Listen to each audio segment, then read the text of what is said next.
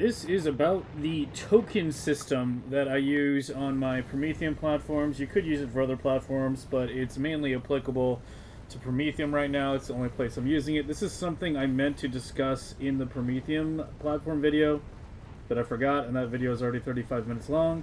And we have added to it since that video was made, so it's actually a good thing that I forgot, because now we can cover even more. So what is the token system? Quite simply, you cannot easily send information from platforms to the ground and vice versa. You essentially can't send signals from the ground to a platform, and sending signals from the platform to the ground is awkward. There's no direct way to do it, so this is how we do it. I've also called these analog combinators because that's essentially how they function. But what we're talking about is this little system up here. So before we get into it, we need to understand the problem that this was initially invented to solve. So the problem is that when you have a Promethium science platform, it picks up a bunch of eggs at Nauvis, it goes out to the Promethium area, gathers a bunch of chunks, makes the science like it's doing right now. This one's a relatively shallow in right now, so it's not making it full steam yet. This one is going at full steam, but this is also an older model with only three grabbers, and it doesn't quite saturate the belts as nicely as the new one will once it's a little deeper in. But they still use the same system. So what happens is these ships go out, pick up a bunch of chunks, make a bunch of Promethium, use all their eggs, head back home with a bunch of Promethium science. They arrive at Nauvis, and if Nauvis is not requesting all the Promethium science, we have a pretty big request down there right now. It's much larger than the other requests, which are usually a couple hundred K. But if we look at the Promethium request, if I can find it, that one is set to pull down 2 million if the threshold gets to 1 million. It's essentially a latch system. If it drops below 1 million, it'll request 2 million. And uh, we have quite a bit of storage for that. And as I said, all the rest are way less than that. So that's the one science that is going to be uh, buffered in a much higher quantity. But even then, you will never really sustain Promethium science at the rate you can sustain other sciences, mainly due to UPS limitations. So it's there's always going to be toggling between research productivity and your other sciences. So what can happen is that your ship comes back home to Nauvis, still has a bunch of Promethium science, but Nauvis still has a bunch of Promethium science. So it can't unload its cargo but it'll start requesting eggs, even though it still has Promethium science, and this obviously creates a problem where the ship cannot really leave. In the worst case that can happen is that its cargo gets full, because it's already so full of Promethium science it can't hold all the eggs. And so it gets like a partial delivery of eggs, it can't get the rest of eggs, gets stuck in orbit, the eggs hatch and destroy your ship. So, what we need to do is tell the egg launchers to not deliver the eggs to the ship unless the, the, the platform has no Promethium science. But, you know, there's no simple way to do it. You can't set requests on the cargo platform, on the space platform. You, you can set it on the, the ground one, on the cargo landing pad, you can set requests. But you can't do it on the space version for some reason, which, uh, you know, has got to be just to make our lives miserable. I can think of no other reason. So, the behavior we want, as I said, is the science needs to be unloaded before the egg launchers are set. So the so the so the, the the planet needs to somehow know when it's okay to send the eggs up. And that's what this system solves. In order to understand it, we need to look at the second half of the system over here with the launchers. So this is one of the launch complexes. These are all the same right now. And we have a bunch of them. I need more, but you know we've got about a hundred of them so far. And all the magic happens in the, this one little decider combinator, where if it sees a biter request and there is no legendary barrel request, it enables the inserters to put the eggs in the silo. And then vice versa, we have one inserted up here, which is hard to see because of the tip of the rocket, which if the inverse condition is true, see this set to do not equal, this set to equal, it will pull the remaining eggs out of the silo and we'll scrap them so that it will give it a nice reset.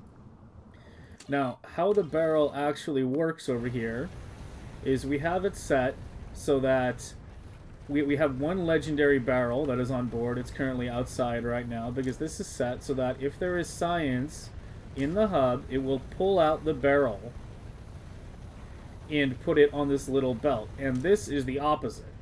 This says if the science equals zero, put the barrel back in, and then we have a logistic request for a legendary barrel from Nauvis. So that request will show up when science is on the ship, but it will go to zero when science is no longer on the ship. So that's how we do it. That that's our analog combinator. That's our that that's how we essentially create a combinator where Wube didn't want us to hit a combinator. It's not a digital combinator, it's an analog one, or a token system, if you prefer it that way. The barrel being the token. I chose a legendary barrel because it was relatively easy to make, and something that you would never normally make. Leg quality barrels don't hold more than regular barrels, so there's no reason to ever actually make one. We have one on each ship. As you can see, they're both on the outside right now because both ships have science. And yeah, that's pretty much it. It's uh, not as complicated as it might sound, but this is a very, very powerful tool that lets you control conditions on ships in ways that normally are not possible, given, you know, the basic tools in the game. So you can also make this only take up one tile if you do two red inserters back to back, you know, one uh, outputting and one inputting and a belt, but um, I'm kind of a red inserter hater because, uh, well, they kind of suck for UPS and you know, I, I just like trying to see if I can do it without it if I can, and in this case we happen to just barely have the space to do it, but if you are really tight on space up here, you could do it also in just one tile. Yeah, so that's how it works. It has a legendary barrel requesting from Nauvis. There is never at any point a legendary barrel on Nauvis, and no ship will ever drop a legendary barrel on Nauvis. These legendary barrels only exist on the Promethium ships, one per ship. And it gets taken out and when it gets taken out, that activates the barrel request from Nauvis, and when it puts back in, it disables it. So when again, when it's taken out, it activates the request. There's no ship in orbit right now, so that's showing no request. Okay to okay to launch X. But if the ship were to come in right now, you would see this go to equals one until the science is fully unloaded, and then it will launch all the eggs. So that is the first implementation of the token system, and the one that was implemented in the Promethium ship video. Since then, I have implemented another version of the token system, which is a wee bit more complicated to solve another problem that is similar. That brings us to what we have coined the gas station bathroom key. Now, I don't know how uh, it works for you guys in other countries, but generally, uh, where I live in the States, uh, a lot of times in, in gas stations, you know, there'll be a key to the bathroom you can get at the front desk and um, or at the cashier, I mean, not the front desk. And uh, there's only one bathroom key. You get the key from the cashier. You go use the bathroom, and you give the key back. The key aspects of this is there's only one key that exists at a time. Period. It's not one key per ship, but only one key total. And only one person is allowed in the bathroom at a time, and they have to return the key to the cashier before the uh, like someone else can use the bathroom, and that's essentially the principle that's going on here with the second token system, which is aptly named the bathroom key. So with the bathroom key, this one's a little quite a bit more complicated because while there's only one total and not one per ship, unlike the legendary barrel key, which controls whether or not it can request Promethium, the gas station bathroom key actually is dropped to planets and requested back up. Now, the way this works right now, I'll walk you through it, is on each ship, the, the schedules are the same. Okay, I, I should I almost forgot to mention. The problem this is meant to solve. I should have started with that. The problem this is meant to solve is to stop two ships from being in Nauvis orbit at the same time. Because if you have both ships in Nauvis orbit at the same time, then the eggs can get split or the eggs can get partially launched to one then partially launched the other. This screws up the timings and everything. It's you know all kinds of bad things can happen. You only want one ship to be loading at a time. So what, what this does since we have two promethium ships right now like i tend to my current ships right now are a bit smaller than some of the other ships, uh, you know, other people at similar levels of SPM are doing, like minor, whereas most people are going in the bigger, you know, giant ships, more eggs. I kind of slimmed it down. I have only around, well, the, the old model is carrying 150k. The new model right now is carrying 175, but we're going to be able to ramp that to 200k pretty soon, and then we'll update the old model, the Doniger, to the new model as well. But uh, the, what we want to happen, the desired behavior, is that only one ship is allowed at Nauvis at a time. And so these have the exact same schedule, and the magic happens here with these two Aquilo stops. Uh, the Fulgora stop, just in case someone happens to ask, the Fulgora stop is just to drop off a small portion of eggs, like 2,000 eggs at Fulgora, if Fulgora requests eggs.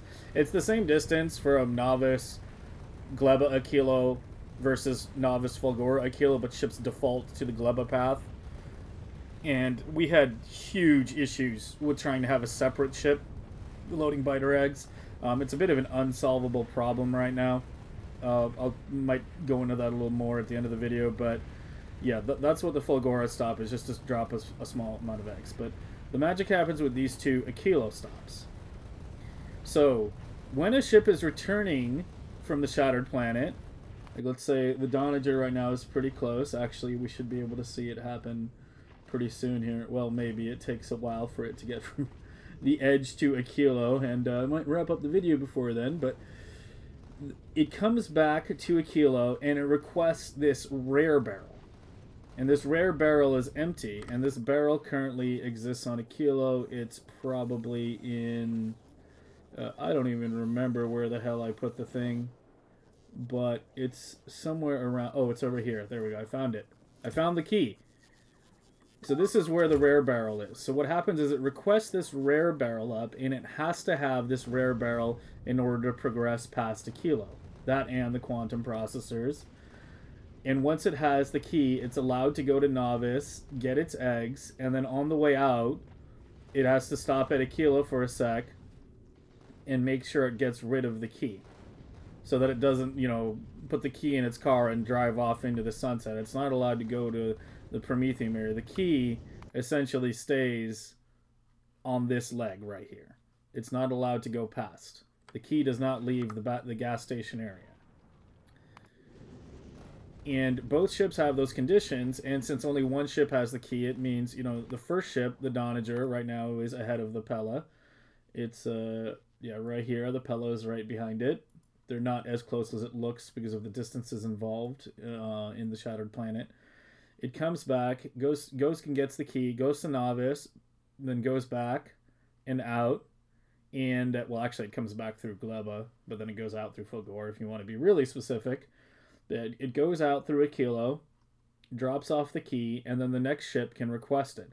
Now we have a bit of modification that has to be done with the key because there's the issue of you can't request an item that you are dropping to a planet. Like if you have a planet that say requests X item and the ship also requests X item and they're both present, like uh, you know, it, will cancel each other out. And this is to prevent a loop. This is to prevent uh, something being launched up and down, you know, over and over, and things getting stuck and just other degenerate behavior.